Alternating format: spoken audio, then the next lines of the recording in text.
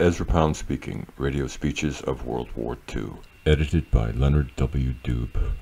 Number 17, March 19th, 1942. UK, B21. And the time lag. Speaking of fan mail, I got a funny looking card the other day headed Krieg's Stalag 21A with the prisoner's number running up into the thousands. Dear Mr. Pound, if this card reaches you and you can manage it, I would be very grateful if you will send me one or two of your recent works on economics. Reading matter from England rather scarce at present and not very enlightening. Signed so and so. Well, maybe this is all very flattering, but the point is the time lag. If a man has to be made a prisoner of war before he will read my works on economics, what good does it do him? Or let us say, what immediate good? Of course, he may be getting ready to make a home fit for a hero in a new order, England, when he gets out of the Gefangenenlager. But wouldn't it have been a sight easier if he and his twelve thousand fellow recliners in the Gefangenenlager had started reading my economics just a bit sooner? I ask particularly my American hearers whether they start on the new economics, which would have prevented the war, and let the now so mangy old worm-eaten Trafalgar lion go on lying down, with the French rooster and the assorted eagles of Europe and left the old Killiloo bird screeching away on the Fourth of July every summer, and no bone broken, and a lot fewer oil ships sunk, and more cars on the American roads, and more rubber for tires, and abundance, no longer potential, but real. Wouldn't it have been a bit nicer?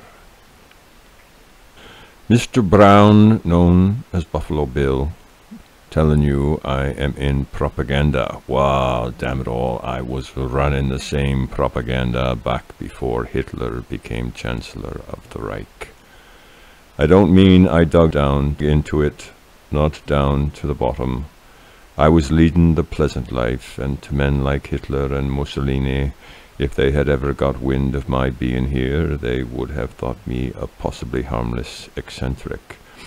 However, in my perlite and refined manner, I did try to do a spot of work, educating here or there, putting in a drop of enlightenment. I didn't go in hell for leather. Economics exclusive, straight at once. I had to find out how the old show was running, running down. I say it was running down. I began to say that in my poetry.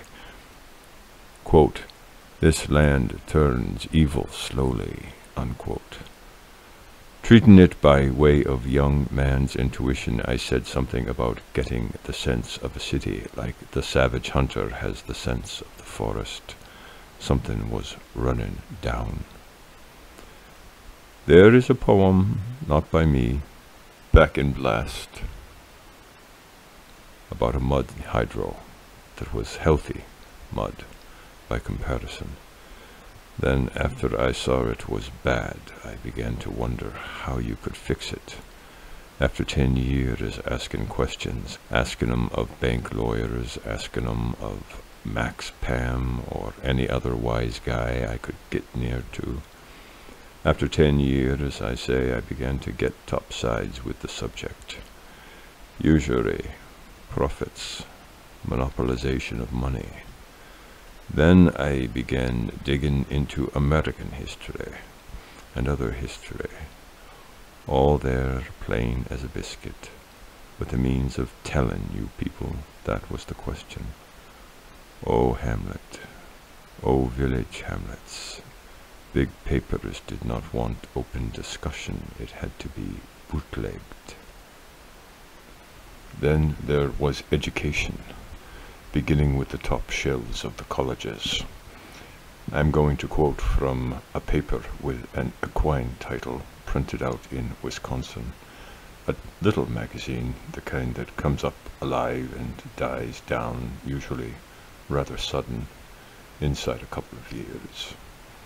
Along in the spring of 1935, I came up with this answer to those young editors in their quarterly as follows. The best I can do in reply to yours is to offer programs recalling a few facts. For 30 years I have been trying to reorganize the study of literature so that it would be of some use to the student and for 15 I have been trying to reorganize education in general to the same end. The best I can tell you to date is contained in my ABC of reading and in my ABC of economics with the volumes following it, social credit and impact, Jefferson and or Mussolini. Why aren't they used as your textbooks? For advanced students, there is my Make It New, which must be correlated with my ABCs of reading, if you are clearly to see what it is driving at. If American students will recognize that universities are there to prepare students for life in a given country and in a given time, and insist on finding out what will help them to live in that place and time. They can get their four years worth. Nobody can do this for the students. They have got to do it for themselves. Quote, Mary Hopkins on one end of the log and the student on the other, unquote. When Abelard was kicked out of the University of Paris 5,000 students followed him into the country, where there were no dormitories and million-dollar gymnasia. That is the sort of thing that spells a revival of learning or intellectual rebirth. My generation was brought up ham ignorant of economics. History was taught with omissions of the most vital facts. Every page our generation read was overshadowed by usury. Not only was the press false, but every current idea had been warped by generations of antecedent perversion. The acid test of public men today is plain and simple. Mistrust any man, no matter how high in office, who tries to get you away from the questions what is money? Who makes it? How is it issued? Why can't the whole people buy what the whole people produces?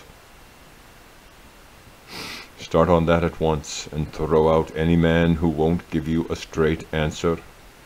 You cannot cure Wisconsin in Pekin. I mean Start where you are. Don't let anyone wriggle out of local honesty by talking internationally. Investigate the Carnegie Peace Foundation. When you find out why they avoid the study of economic causes of war, you'll be part way toward preventing another printed in Wisconsin in the spring of 1935, long before Hitler was so influential in world affairs. You can lead a rocking horse to water, but you can't make him drink it. And young Americans' problem is what was young England's problem, and the answers were known the answers could have been broadcast, the answers could have been printed in daily papers, they could have been taught in the schools, they could have been used as the basis for action, I mean political action, and what prevented it? Well, go ask yourselves what prevented it. Ask yourselves why these things were not widely printed, Why the real thought of the American founders was hidden, stuffed into corners.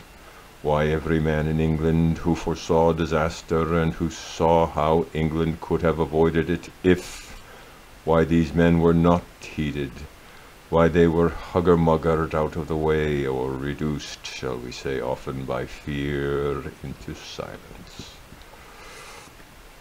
Not all were afraid, some were prudent. Where are they? Some of them got out in front. Now, where are they? Where are the backseaters, the men who knew but saw no way to act on their knowledge? The men who assembled tiny minorities? Well, where are they? And when will the people learn wisdom? O Zeus, O Chan Ti, how long is the time lag? End of number 17. And the time lag. Ezra Pound speaking, Radio Speeches of World War II.